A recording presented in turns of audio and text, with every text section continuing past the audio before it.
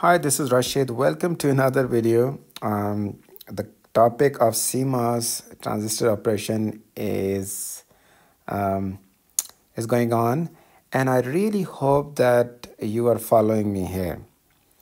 Uh, feel free to ask me any questions you have. And today we are going to talk about another very important thing, and that thing is Okay, I already explained the linear and saturation. So question is, where we want transistor to operate? Here to here. Uh, so the answer is the digital folks, uh, digital IC designers, they want transistor to operate in linear region. But the analog folks, they want transistor to operate mostly in the saturation region. Question is why? Okay, so that is what I'm going to cover here. I'll get back. So this is your linear region. I just redraw uh, what what I had before, but in into different region. And this is the picture in saturation. So again, uh, um, linear region operation. Your source is grounded uh, you apply gate source gate to source volt has to be greater than vt so that strong inversion happens. And as we increase beyond vt uh, we start having um, a good amount of electron and with little bit pull from vds we have current start flowing. Electron in this direction current on this direction. And as long as vds the voltage here is less than VD SAT, which is VGS minus VT. As long as less than that, we have a nice current flows. Eventually, we reach saturation. This depletion region gets bigger, VDS gets higher, and the pinch off happens. But at that time, we have such a strong flow of electron flow, such a strong flow of electrons. Um, in this region, there's a strong pulse electrons move over on this side. So, and we have nearly constant current flows doesn't matter what's the value of VDS. VDS we can change, but current doesn't change. So it's a, a very good current source at that moment. In order to, we will get to these equations. Um, don't worry about those for now. But for digital folks, why for them it matters that transistor is uh, stays in the linear region. Okay, let's look at. In the digital uh, design. In the digital domain we are only dealing with 0 and 1 so our signals and and different nodes at different nodes within the network um, and there is a this is a network i come to that in a minute but the waveforms are 0 and 1 0 is the lowest voltage 0 volt. 1 is i'm picking 1.8 volt which was the the voltage uh, supported on Intel 180 nanometer. So 1.8 volt. So signal goes from 0 and 1.8. Now there's a little bit delay. It doesn't go abruptly to 1.8. But that's all the nodes going to be in our network. So in this case, this is, um, I know I haven't told you about NMOS, uh, sorry, PMOS. We only talk about NMOS, but it's important to look at this circuit. And what happens? So First of all, the NMOS that the beautiful NMOS that you have seen here, it's not possible to draw that in a circuit, right? So instead we have this notation. So we put this and then we put one line here. So this represents gate. Yeah, this is gate of NMOS. This is drain and this is source.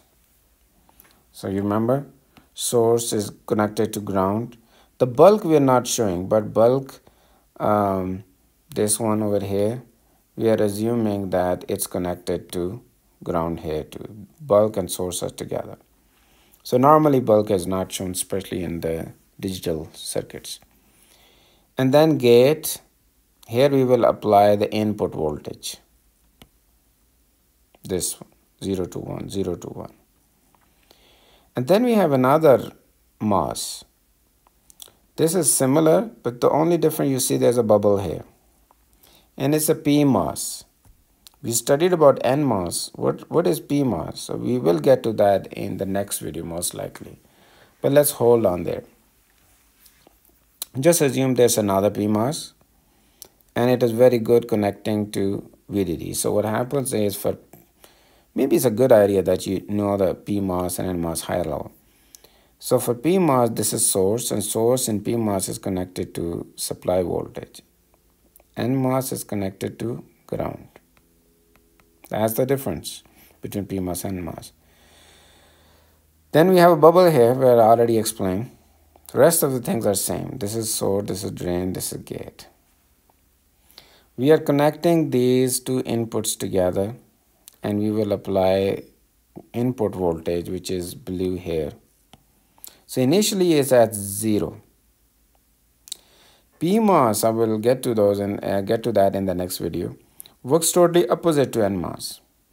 So for PMOS, remember, when input is zero, PMOS turns on.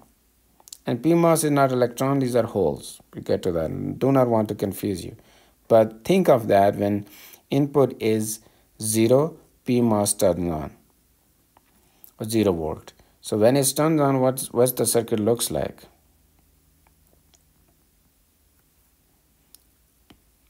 I should pick a different one. Sorry.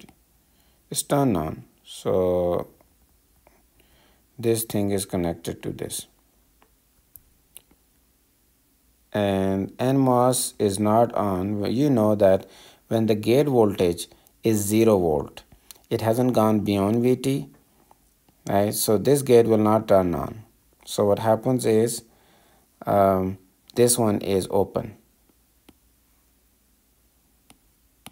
So this is PMOS which is now in on mode and NMOS is in off mode. Hmm, should I do this? Yeah maybe. Okay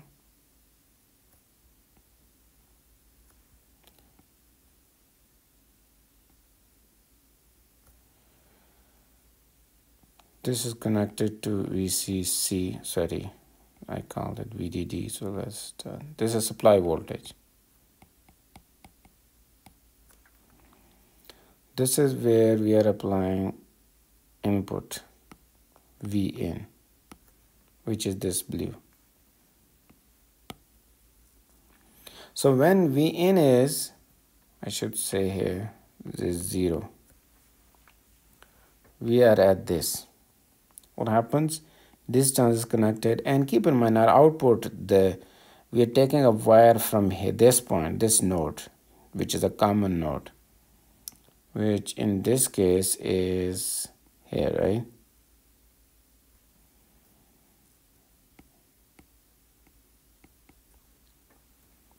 What happens to output now? You're electrical engineering students or engineers. So this node is connected directly to VCC. So output is VD or 1.8 volt or we say logic 1. Input is a logic 0. So again when input is 0 output is 1. Am I clear? And Works. Now look at another scenario now. It makes a transition and now input is high, 1.8 volt. What happens now? When input is high, PMOS is off and NMOS is turns on. So what happens now? It's same circuit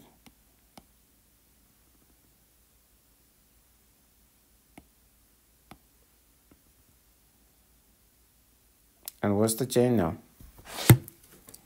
What change is that we have PMOS is off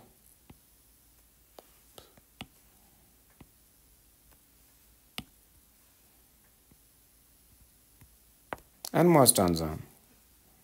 We need to change everything.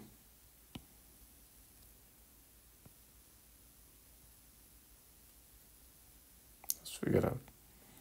Input now is 1.8 volt or logic high. And now this node,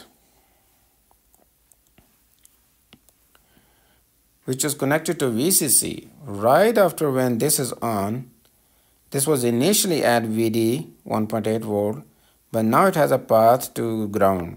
So initially it starts at 1.8 volt and then start very quickly ground goes to ground. So voltage becomes zero eventually. Start with 1.8 volt but then becomes zero. So in steady state i mean after a little while what happens v out becomes zero volt or logic low so because nmos is active now. So what do you see? Two things. Pmos gets on when input is zero nmos gets on when input is one but the nature of this device is when input is 0, output is 1. When n input is 1, output is 0. So NMOS is good for NMOS is used to provide a ground path. PMOS is used to provide a supply path. Understand? So what happens overall? This circuit is becoming an inverter. It inverts the input. But what really is important, what I really wanted to tell you um, in, in explaining the transistor operation so far, what I assumed that always, okay, initially there is no voltage. And as we increase voltage, there's no voltage. As we increase the voltage, so that is true because we are going from 0 to 1.8 volt. Very quickly, we will settle at 1.8 volt here. This is that's a transition time, very small. And once we settle at 1.8 volt, what is going to happen? It's already more than the threshold voltage. So great. So transistor inversion layer is formed in the channel. But what is the scenario on the D? Initially, and that is really important, pay attention to this one please. Initially D, because PMOS was on previously, D was at VDD at 1.8 volt. I mean, in the example that I gave, I said, okay, we let's start increasing the voltage. But actually, in the real circuit, when we use it, we don't increase the voltage. The voltage starts at a very high value and then goes down. And what happens when the VD is at a very, uh, the highest voltage? It's definitely greater than the VD. So transistor is in saturation. So NMOSs typically start not in the cutoff but actually in saturation.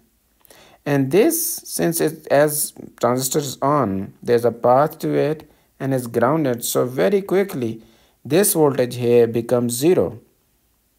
And now VG is still high 1.8 volts. So what region is that?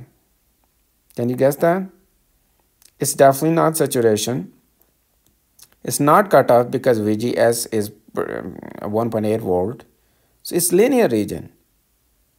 So in steady state, I mean, it stays on this for a while, just makes changes, then stays on a line. So you see that for both PMOS and NMOS, transistor remains in a linear region.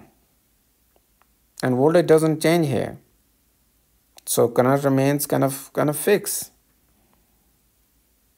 once the VDS uh, is settled.